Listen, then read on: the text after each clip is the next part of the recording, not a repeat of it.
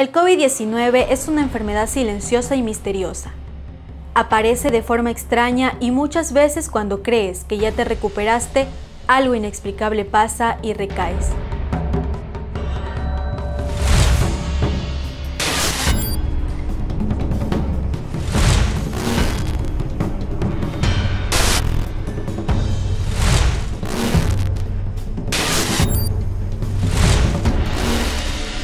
Este fue el caso de Óscar Arcentales, actual alcalde de Pedernales, quien sin pensarlo pasó por momentos difíciles al estar internado en UCI.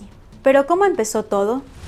En el caso de Pedernales, nos reuníamos todos los días el COE cantonal para tomar resoluciones, para llegar con ayuda a los más necesitados, para coordinar acciones para los temas de fumigación, para los temas de cuidado de, entre comillas, las fronteras cantonales, para que no ingresen personas de otras jurisdicciones donde supuestamente el COVID estaba atacando de manera contundente.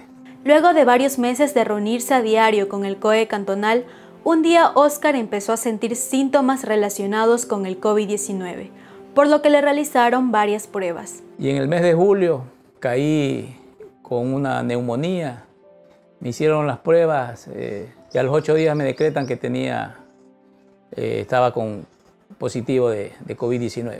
Pasaron ocho o diez días aquí, me, me, asistieron en el, en el hospital móvil que tenemos acá y ya los últimos días de, de, aquellos ocho días que permanecí acá, pues eh, necesitaba oxígeno. Debido a que su saturación empezó a bajar, lo trasladaron a una clínica de Guayaquil, porque los hospitales públicos estaban colapsados.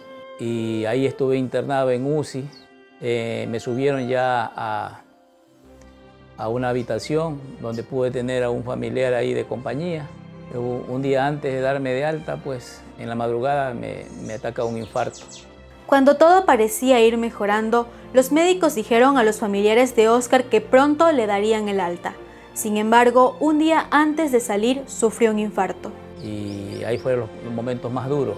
Tuve por el lapso de, 10-12 horas inconsciente.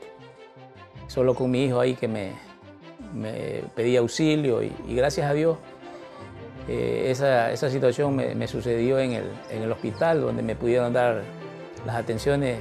Gracias a la atención inmediata y oportuna pudo salvarse. Sin embargo, el virus le dejó grandes secuelas algunos de sus órganos se vieron afectados.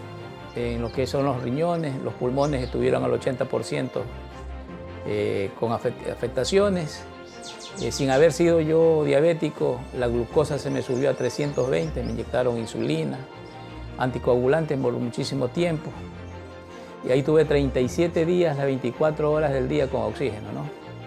Eh, llegué un tiempo en Guayaquil que estuve varios días pues, a consumir tres tanques de oxígeno en el día. Pasé los peores días de mi vida durante 30 días, que no podía caminar ni, ni 3 metros. Hasta ahora que han pasado alrededor de 8 meses, todavía estoy en manos de especialistas. Según los médicos, el mantener una vida deportiva activa fue importante para resistir el infarto. Ahora su estilo de vida ha sido reajustado a una alimentación saludable y deportes para su recuperación. La actividad deportiva me, ayudó muchísimo, dicho por los médicos.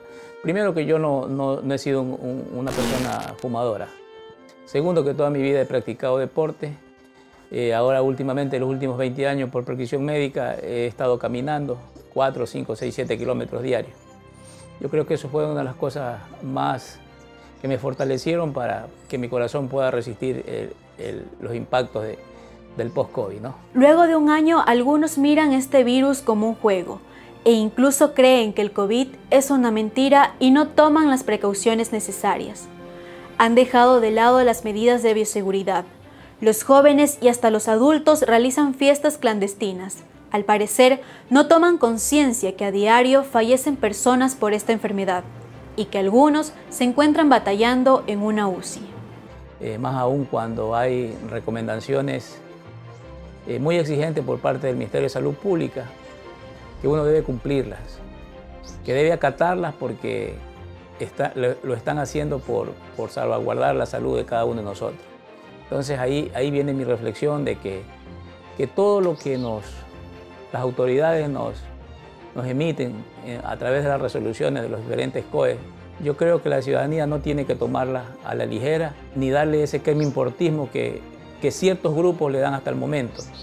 Favorablemente, Oscar pudo enfrentar este virus y salir victorioso, pero cada caso es distinto, ya que no todos logran salir de los hospitales para contar su historia al mundo. Bueno, hay un antes y un después.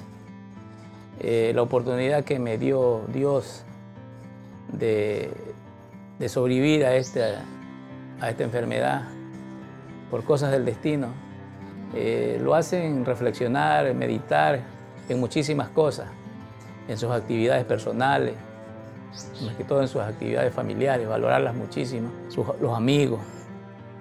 Eh, el cuidado personal es muy importante, los hábitos personales, son muy importantes. ¿no?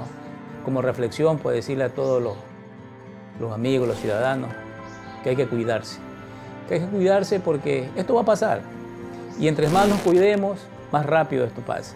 Con estos testimoniales queremos llegar con un mensaje de conservación de la vida humana ante todo. Sabemos que esto mejorará, pero debemos mantener la calma y ser pacientes.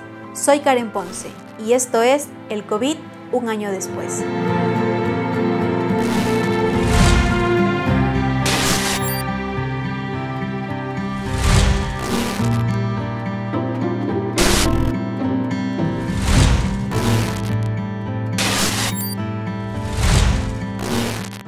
Queremos agradecerte que veas, comentes y compartas nuestros videos. Recuerda suscribirte a YouTube y seguirnos en Facebook e Instagram.